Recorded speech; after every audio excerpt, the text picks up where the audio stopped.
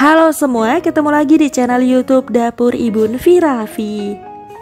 Di video kali ini saya mau buat puding coklat lapis brownies dengan flah yang buatnya cukup mudah, rasanya enak banget.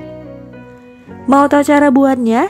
Tonton terus videonya sampai habis dan jangan lupa subscribe, like dan tekan loncengnya juga agar nggak ketinggalan video terbaru dari saya. Terima kasih.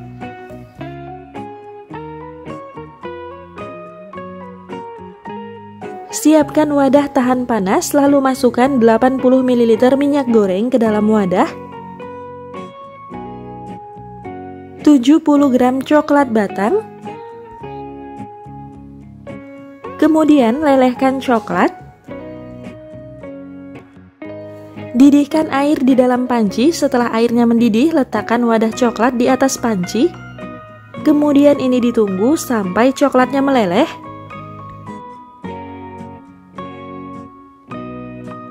Setelah coklatnya meleleh semua, matikan api kompornya, lalu ini diangkat dan disisihkan dulu. Kemudian siapkan mixer. Di sini saya menggunakan mixer turbo EHM 9090 yang sudah dilengkapi dengan mangkuk dan dudukan. Setiap pembelian mixer turbo EHM 9090 dilengkapi dengan aksesoris pengaduk untuk mengaduk roti dan kue dan juga mendapat pisau seperti ini. Mixer turbo EHM 9090 memiliki dua tombol pengunci yang berfungsi untuk mengganti pengocok, pencampur, dan mangkuk. Di sini saya memasang pengaduknya dulu Tekan tombol pengunci seperti ini, otomatis mixer dan dudukan akan terlepas. Di sini kelihatan gambar bunga, lalu pasang pengaduk yang gambar bunga juga seperti ini.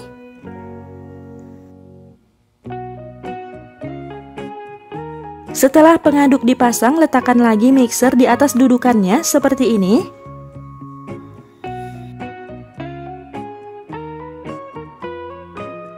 Di bagian bawah dudukan mixer turbo EHM 9090 dilengkapi dengan tiga kaki perekat seperti ini.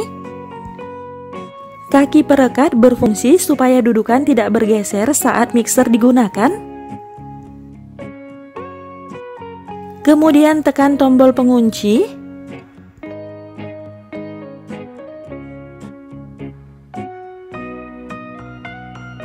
Lalu masukkan 3 butir telur ke dalam mangkuk.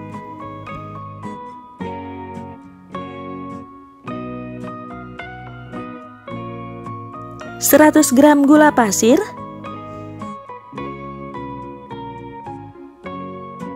Seperempat sendok teh vanili bubuk.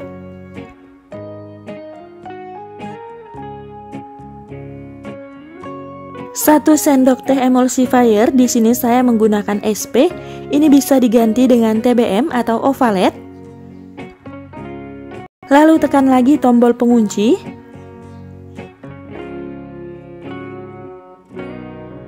Mixer turbo EHM 9090 memiliki 5 kecepatan dan satu tombol bus. Dengan 5 kecepatan putaran yang dapat digunakan untuk mengatur kecepatan pengaduk sesuai kebutuhan dan satu tombol bus untuk menghasilkan adonan yang lebih cepat dan lebih halus. Kemudian nyalakan mixer dengan kecepatan yang paling tinggi Ini diaduk sampai adonannya putih, mengembang, dan kaku. Dengan menggunakan mixer turbo EHM 9090 tidak perlu repot lagi memutar mangkuk secara manual. Karena mangkuk mixer turbo EHM 9090 akan berputar secara otomatis sehingga mempermudah proses pencampuran secara menyeluruh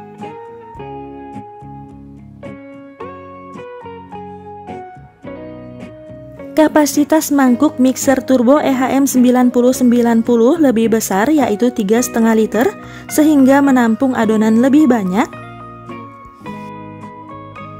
Mixer turbo EHM 9090 juga dilengkapi dengan material food grade menjadikan mixer turbo aman dari bahan kimia seperti kadmium, lead dan merkuri sehingga aman dan tidak berbahaya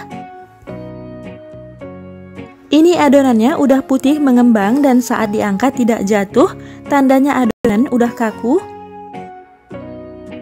Kemudian hidupkan lagi mixernya dengan kecepatan yang paling rendah, lalu masukkan 70 gram tepung terigu sedikit demi sedikit.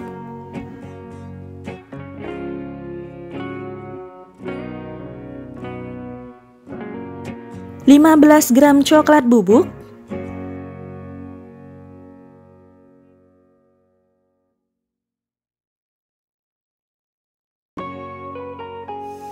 setengah sendok teh baking powder, lalu masukkan minyak dan coklat batang yang dilelehkan tadi sedikit demi sedikit.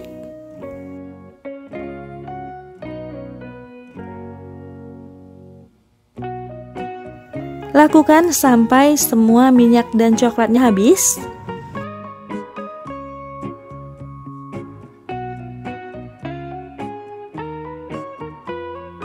Untuk bagian pinggirannya bisa menggunakan spatula seperti ini supaya semua adonannya tercampur rata.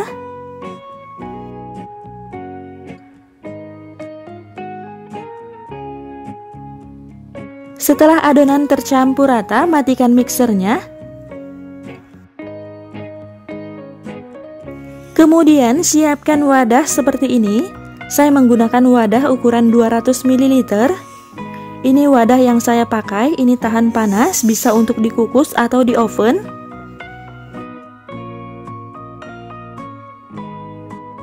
Tidak semua wadah seperti ini tahan panas, bisa untuk dikukus atau di oven. Jadi pastikan dulu wadah kalian itu tahan panas. Kemudian tuangkan adonan secukupnya ke dalam wadah. Saya tuang nggak sampai setengah. Lalu hentakan wadah supaya udara yang terperangkap di dalam bisa keluar.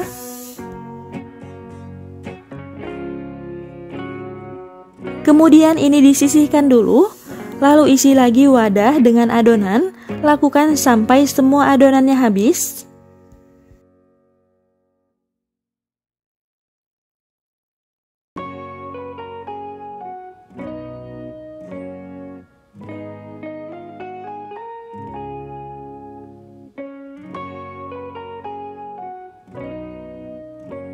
Setelah selesai dimasukkan ke dalam wadah, ini siap untuk dikukus.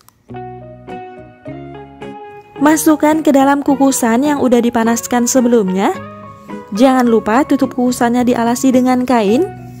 Ini dikukus selama 20 menit sampai adonannya matang dengan api sedang cenderung kecil.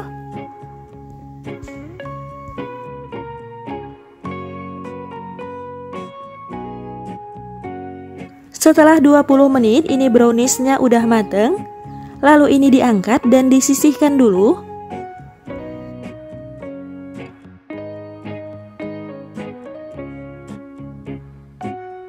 Siapkan panci untuk memasak puding Lalu masukkan 800 ml susu cair.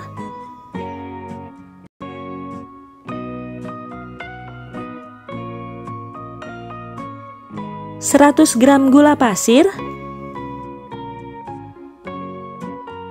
15 gram coklat bubuk.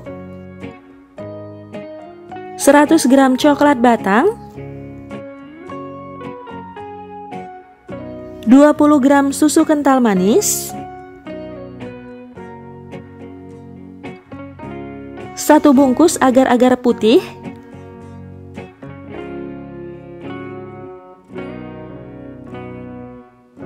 Lalu ini diaduk sampai tercampur rata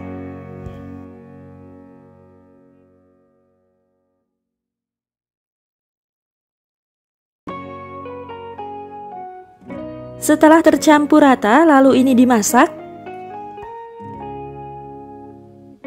Masak dengan api sedang cenderung kecil sambil diaduk terus sampai coklatnya meleleh dan mendidih.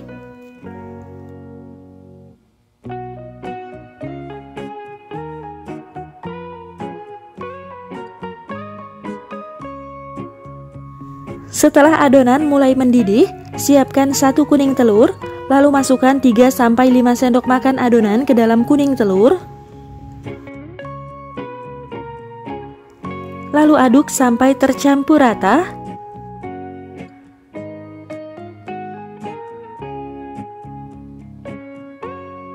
Setelah tercampur rata, tuangkan ke dalam panci. Lalu ini diaduk kembali dan dimasak sampai adonannya benar-benar mendidih.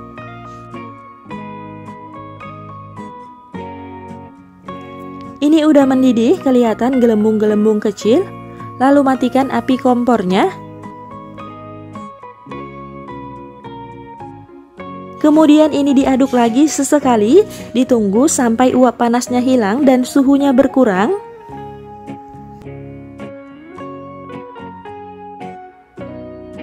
Setelah suhu puding berkurang, tuangkan puding di atas brownies yang sudah dimasak tadi. Sampai penuh.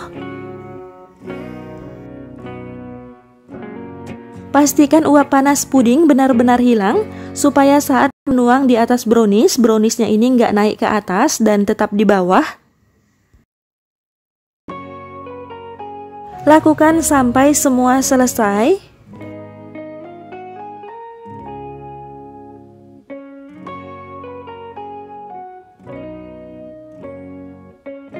Setelah selesai, ini disisihkan dulu, ditunggu sampai bagian atas pudingnya itu set, atau bisa juga dimasukkan ke dalam lemari es. Kemudian siapkan panci untuk memasak flah, lalu masukkan 250 ml susu cair, 40 gram susu kental manis, setengah sendok makan tepung maizena, Lalu ini diaduk sampai tercampur rata. Kemudian ini dimasak. Masak dengan api sedang cenderung kecil sampai flanya mendidih dan mengental.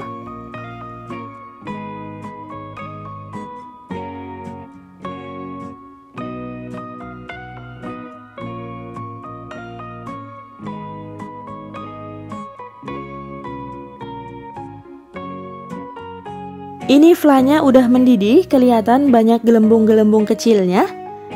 Ini juga udah mengental. Matikan api kompornya, lalu ini diangkat.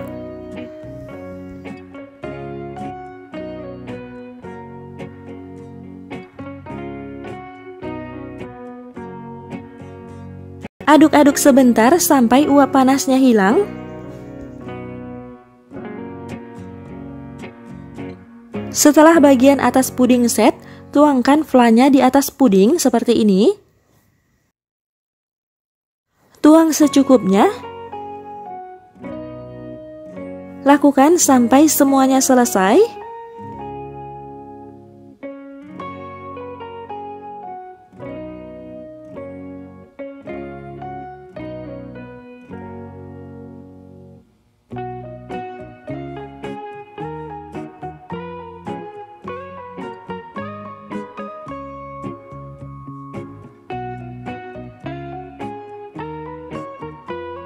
Kemudian beri topping di bagian atasnya, saya menggunakan choco chip.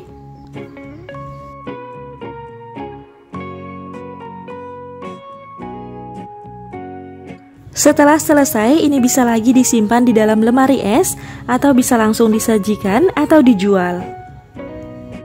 Ini dia puding coklat lapis brownies dengan flanya udah jadi. Ini kelihatan cantik dan mewah sekali. Bagian dalamnya itu seperti ini.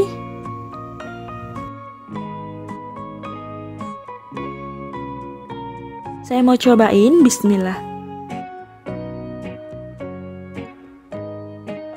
Hmm. Ini enak banget, nyoklat banget. Dengan fla ini rasanya lebih enak. Mantep banget. Ini cocok untuk cemilan di rumah atau juga bisa untuk ide jualan. Rasanya ini enak banget, mantep banget. Makannya bikin ketagihan pastinya ya. Silahkan dicoba di rumah karena ini buatnya cukup mudah. Jangan lupa share video ini jika bermanfaat. Terima kasih udah nonton video saya. Sampai ketemu di video selanjutnya.